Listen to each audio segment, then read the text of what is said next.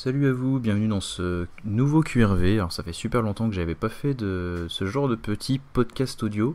Euh, j'ai regardé, ça fait presque un an en fait. c'est n'importe quoi, je pensais faire ça plus régulièrement. Et euh, bon, ça fait presque un an que j'en ai pas fait. Bon, en même temps, il y avait eu les, émissions Feu de camp et tout ça qui jouent un petit peu ce rôle. Donc je vais reprendre un petit peu les, podcasts audio dans ce genre-là. D'ailleurs, euh, toujours personne a deviné pourquoi les émissions s'appelaient QRV. Mais je vous laisserai euh, chercher. Euh, également, je tiens à vous remercier pour euh, eh bien, la, barrière des, 20 000 hein, qu'on vient de passer. Ça, fait plaisir, je m'y attendais pas quand j'ai démarré la chaîne, donc ça fait toujours plaisir. Merci à vous. Il y aura sans doute une petite foire aux questions à la rentrée, donc si vous avez des questions, n'hésitez pas. Donc, le sujet, le sujet de ce QRV, ça va être donc le minimalisme par rapport au survivalisme. Alors minimalisme versus survivalisme, peut-être pas. On va plutôt essayer de voir comment, euh, concilier les deux. Est-ce que c'est possible de concilier les deux? Quels peuvent être les, avantages à concilier les deux? Donc on va reprendre un petit peu d'abord de la, définition. Euh, c'est vrai que les deux sont des, euh, deux sont des, modes de vie, les deux sont des, sont des arts de vivre à part entière, un petit peu différents. Le survivalisme, vous le connaissez, l'objectif, euh, bon, c'est le développement à l'échelle euh, à l'échelle personnelle, à l'échelle familiale ou, voire même communautaire de l'indépendance et de la résilience pour voilà, simplement être résilient en cas de, en cas de soucis et également eh bien, essayer de, vivre mieux, d'avoir une vie plus saine, plus indépendante et plus libre. Le minimalisme, de son côté, parle de se, de se recentrer sur l'essentiel, de se recentrer sur ce qui est important pour soi, euh, en gros d'essayer de, vivre plus simplement avec peu de, biens matériels. Alors le but c'est pas tant de, simplement désencombrer, comme pourrait en être la, caricature ou la présentation euh, simpliste, mais simplement de... L'idée ça peut être voilà, de se débarrasser de, biens matériels, oui, mais dans le but de faire plus avec moins, euh, avoir plus de plus de liberté, plus de temps, plus de satisfaction avec moins, oui, euh, moins, de, moins de choses négatives et moins de, biens matériels. Les deux peuvent être des, alternatives à la société de consommation, parce que les deux peuvent se rapprocher du pourraient se, rapprocher de la simplicité volontaire, euh, le but étant de, vivre mieux, de consommer différemment. Alors après, comme le survivalisme, le minimalisme, euh, bon, ça veut tout et rien dire, il y a autant de définitions du minimalisme qu'il y a de minimalistes, de la même manière qu'on a autant de définitions du survivalisme euh, qu'il y a de survivalistes. Donc les avantages du minimalisme, effectivement, simplifier sa vie, désencombrer, euh, tout ça, ça permet bah, de, gagner en simplicité et donc en efficacité, en organisation, en logistique, euh, à faire des économies conséquentes également, puisque puisque forcément si on s'intéresse moins aux biens matériels, eh bien ça fait toujours euh, moins de dépenses, euh, avoir moins d'objets, ça permet d'avoir moins besoin d'espace de, stockage et donc ça peut permettre d'avoir des logements plus petits, donc moins coûteux à la location ou à l'achat. Enfin des économies à plein de niveaux. Et ça permet aussi d'avoir plus de temps. Comme on fait plus de shopping, il y a moins de ménage, il y a moins de rangement. Donc tout ça, ça fait plus de temps pour soi, pour les siens, pour nos passions pour faire vraiment ce qui est important pour nous, euh, d'où le principe de se recentrer sur l'essentiel. En gros, euh, voilà, l'idée d'avoir une vie plus saine, plus, harmonieuse à tous les niveaux. Je vous laisserai euh, plus vous renseigner sur le, minimalisme si vous voulez avoir plus d'infos là-dessus, voir un petit peu tous les bienfaits. Donc là-dedans, on pourrait voir quand même un paradoxe, une confrontation entre le survivalisme et le minimalisme, puisque le survivalisme souvent a une connotation matériel, avec de la préparation matérielle, avec du stockage, et donc avec potentiellement de l'accumulation par le principe du euh, au cas où, euh, par le principe du on peut en avoir besoin, donc je mets de côté, je stocke, j'accumule, je fais l'écureuil, je fais la fourmi, hein, nos, deux, nos deux animaux totems. Alors que de son côté, le minimalisme parle de, désencombrement, de simplicité, de, de dénuement. Et donc peut-être que le risque, par manque de soutien matériel et de logistique, euh, est de perdre en, autonomie et en indépendance, et euh, d'avoir, bah voilà, d'être un petit peu plus dépendant du système pour tout, euh, puisqu'on perd en autonomie par manque peut-être de, ressources de ressources matérielles. Euh, donc pourrait y avoir une confrontation entre, les deux à ce niveau-là. Mais je pense qu'il est possible, étant donné que les deux définitions sont personnelles, du survivalisme et du minimalisme, je pense qu'il est possible d'essayer de trouver euh, une conciliation, d'essayer de trouver un compromis en réussissant eh bien, à, euh, adopter un petit peu des deux. Donc quand je me suis intéressé à cette thématique-là récemment du minimalisme, j'ai lu plusieurs livres sur ce sujet-là. Donc par exemple de par exemple de Fumio Sasaki. Donc c'est un japonais euh, minimaliste, c'est un petit peu euh, un petit peu la personnalité figure de proue euh, là-dedans, de la même manière que nous allons avoir Vol West dans le survivalisme. Bon bah dans le minimalisme ils ont Fumio Sasaki. je sais pas si lui aussi se fait insulter de, gourou du minimalisme de son côté, par les journalistes peut-être. Donc de son côté, donc lui c'est un minimaliste euh, convaincu et assez, euh, assez avancé. Il, est, euh, donc il vit à la japonaise avec un certain dénouement et un, dénuement et, un esprit zen qu'on retrouve un petit peu dans la culture japonaise. Mais ce qui est intéressant, c'est que parallèlement à ça, dans la culture japonaise, on retrouve quand même des principes de responsabilité, des principes de préparation aux catastrophes, des principes d'anticipation. on sait que la culture japonaise euh, fait quand même attention à ça, étant donné que c'est un pays qui est frappé régulièrement par euh, les catastrophes naturelles, euh, qu'a connu, qu'a connu Fukushima récemment, qu'a connu des tsunamis. Hein, c'est le pays qui a inventé Godzilla, qui, Godzilla qui représente justement la force de la nature qui vient détruire la société. Donc pourrait y avoir un esprit survivaliste dans la mentalité euh, japonaise. Et ce qui est intéressant, c'est qu'on retrouve un petit peu ça euh, dans l'approche de Fumio Sasaki.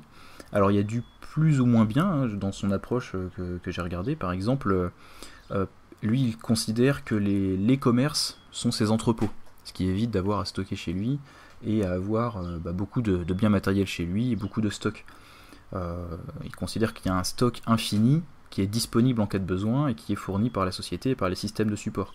Donc de notre côté, avec nous, notre point de vue survivaliste, euh, on va voir là-dedans quand même une attitude risquée en cas, de, clash, en cas de chaos, parce que cette dépendance à la société de consommation et au juste à temps euh, peut être problématique, bien sûr, s'il y a une rupture de la normalité, euh, il peut se retrouver bloqué et sans approvisionnement, parce qu'il a bien sûr aucune préparation chez lui, aucun stock, et donc aucune indépendance, aucune autonomie.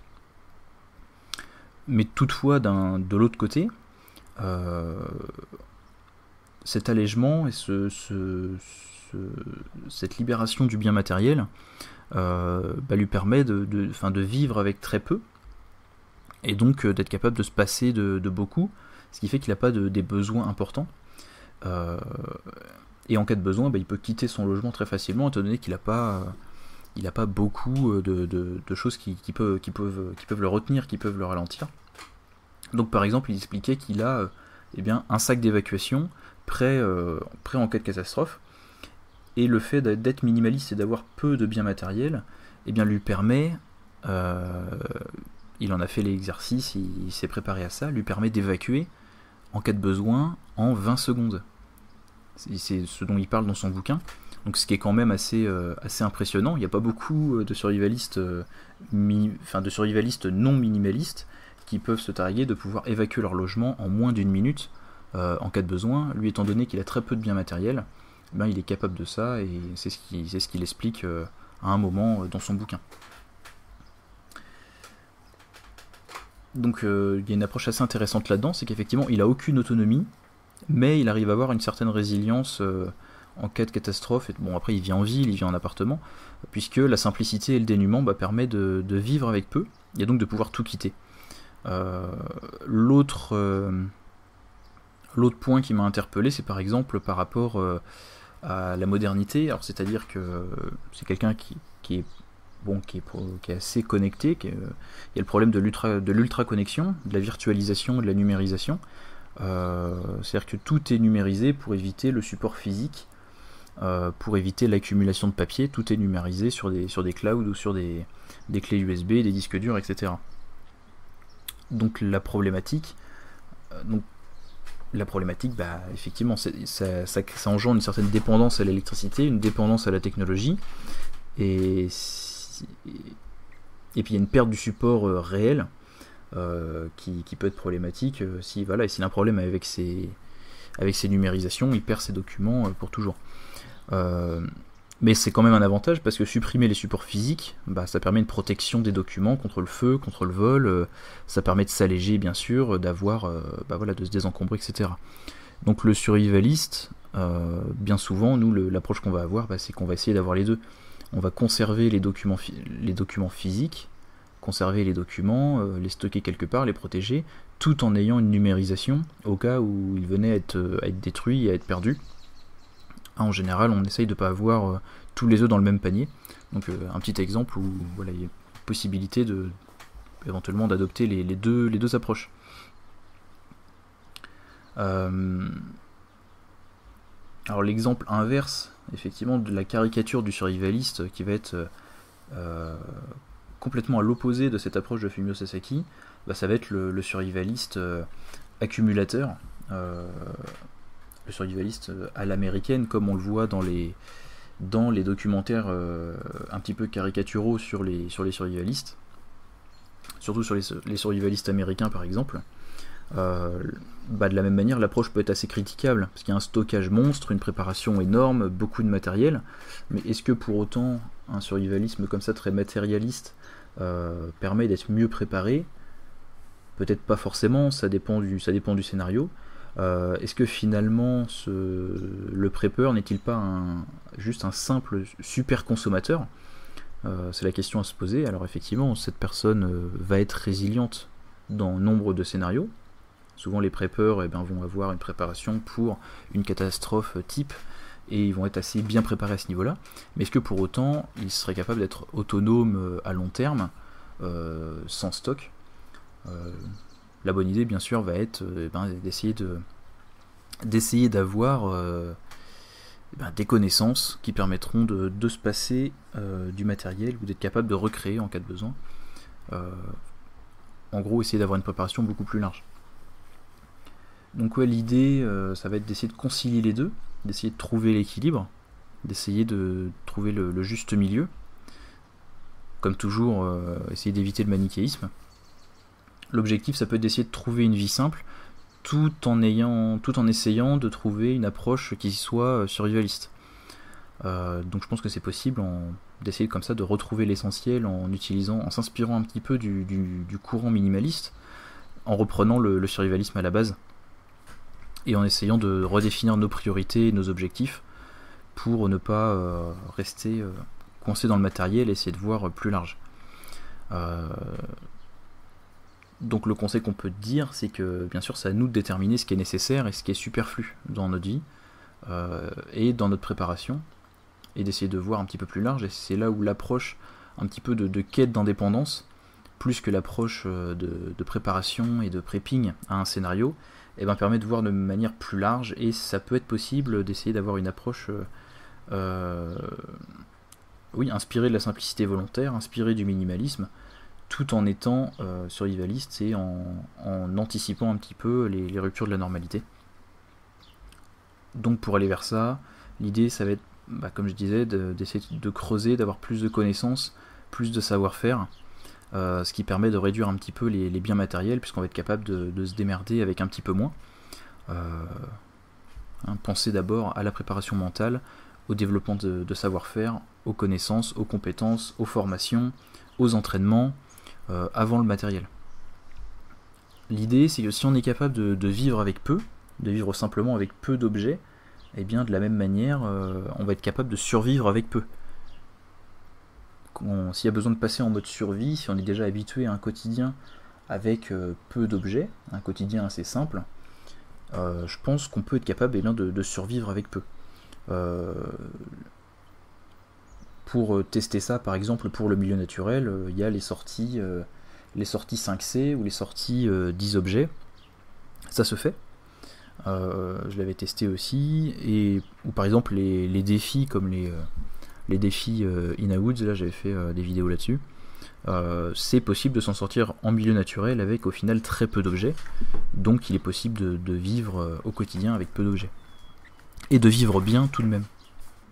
Donc ouais, je pense que l'idée ça va être ça à long terme, essayer de, développer une vision du survivalisme qui permet de vivre de façon autonome et résiliente, tout en étant une approche qui permet de vivre de manière simple euh, c'est ce vers quoi je vais aller, je pense, euh, à l'avenir.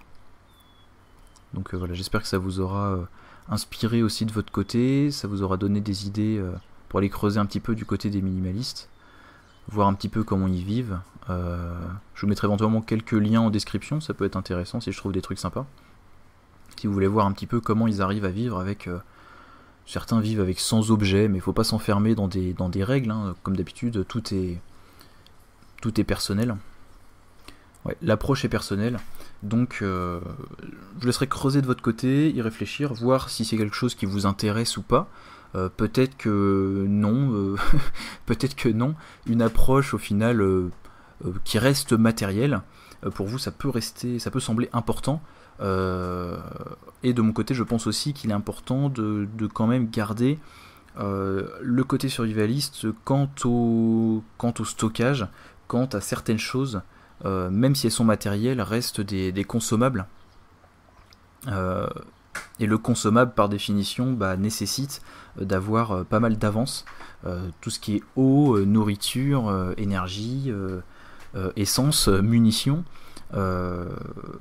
éviter l'accumulation dans ces domaines-là, ça peut être assez compliqué, surtout quand on cherche une certaine résilience à long terme ou de l'autonomie. bien sûr, les compétences qui permettent la production et la fabrication permettre de réduire les stocks euh, par rapport à la durabilité, mais c'est assez compliqué quand même de, d'un côté avoir sans objet et de l'autre essayer d'avoir une approche 100% survivaliste et euh, durable. Donc je vous remercie pour votre écoute. Euh, si ce sujet vous inspire, si vous avez des remarques à ajouter, si vous avez des, bonnes idées, bah, comme d'habitude les commentaires sont faits pour ça. Il n'y a pas de souci. Euh, donc je vous remercie pour votre, écoute.